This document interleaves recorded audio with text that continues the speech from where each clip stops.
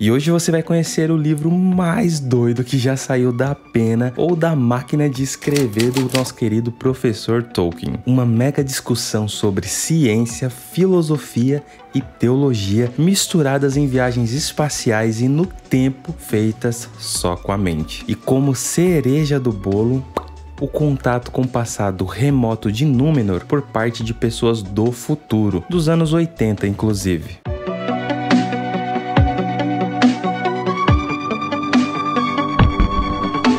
Sejam bem-vindos ao canal Bolseiro, fale amigo e entre. E é hora de saber mais sobre os documentos do Clube Notion, obra inacabada de Tolkien que faz parte de Sauron Derrotado, livro 9 da série A História da Terra-média. Se você já deu uma olhada nos livros dessa série que já saíram no Brasil, talvez já conheça outro romance inacabado do professor que se chama A Estrada Perdida e está no volume 5 da série que tem o mesmo nome. E foi nessa narrativa que Tolkien imaginou pela primeira vez que poderia acontecer uma espécie de contato telepático ou espiritual entre um estudioso de línguas dos anos 30 na Inglaterra e Elendil e sua família lá em Númenor. Essa história surgiu de uma aposta entre Tolkien e seu grande amigo C.S. Lewis. Eles combinaram que iam fazer uma história de viagem espacial e outra de viagem no tempo. Tolkien acabou ficando com a viagem no tempo e Lewis com com a jornada pelo espaço. No fim das contas, a narrativa do Lewis acabou virando a trilogia espacial dele,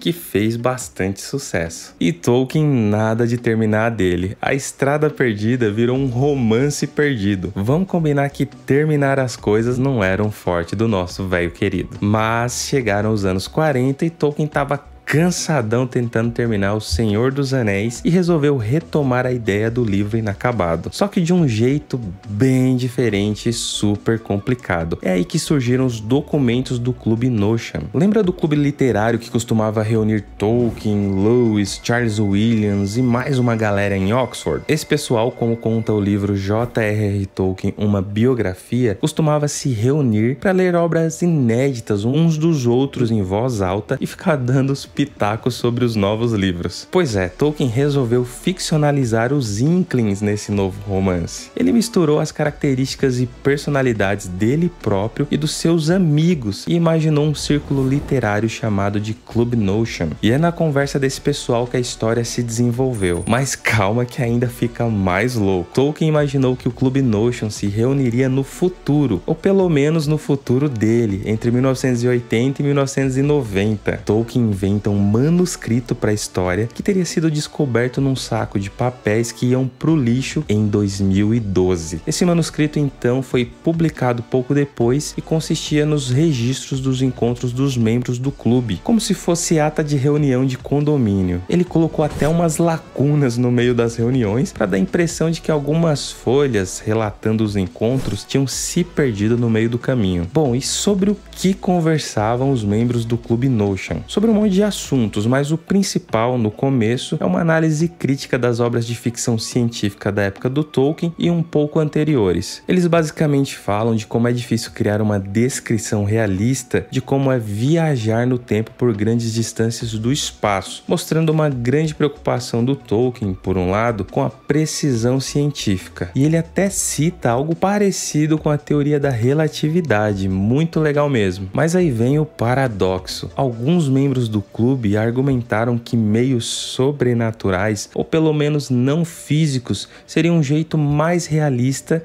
de fazer contato com planetas distantes, por meio dos sonhos, por exemplo. É o que defende o Michael Raymer, um filólogo como Tolkien, que começa a contar como ele chegou até a tocar um meteorito que caiu na Terra para tentar captar essa memória da viagem pelo espaço que ficou presa na rocha. Depois, ao sonhar com esse contato e com outras técnicas, ele começou a ter visões do que acontece ou poderia ter acontecido em lugares distantes do cosmos, e também sonhos que poderiam ser capazes de investigar o passado da própria Terra, como por exemplo a destruição da mítica ilha de Atlântida. É, eu acho que você já sacou onde isso vai chegar, né? Afinal, a Atlântida inspirou a história de Númenor e de repente repente, numa espécie de inspiração, outros dos amigos do clube mencionam o nome de Númenor, e Raymer diz que esse também era o nome de Atlântida nos seus sonhos. Esse outro personagem se chama Alwyn Arundel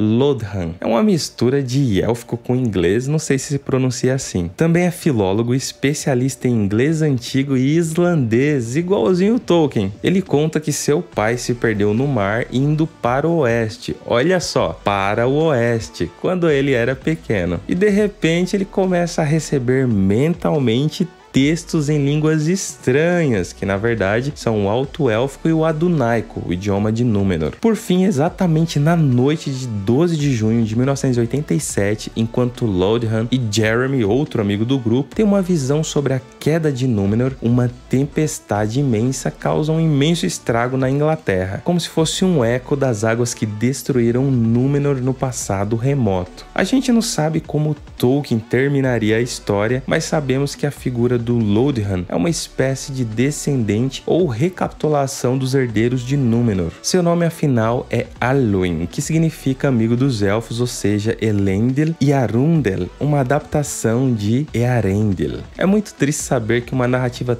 tão ousada e cheia de complexidade não chegou ao fim, mas ela aumenta ainda mais o respeito que a gente tem pela criatividade do Tolkien. Em breve ela deverá estar disponível para os leitores brasileiros. E enquanto o volume 9 da história da Terra-média não chega ao Brasil, você pode chegar com o seu like. Por isso o Gandalf do like está aparecendo aqui para te lembrar de deixar um joinha. Não seja um tuque tolo. E é isso galera, o vídeo vai ficando por aqui. Eu espero que vocês tenham gostado não se esqueçam de se inscreverem no canal. E eu não conheço a metade de vocês, a metade do que gostaria, e gosto de menos da metade de vocês, a metade do que merecem.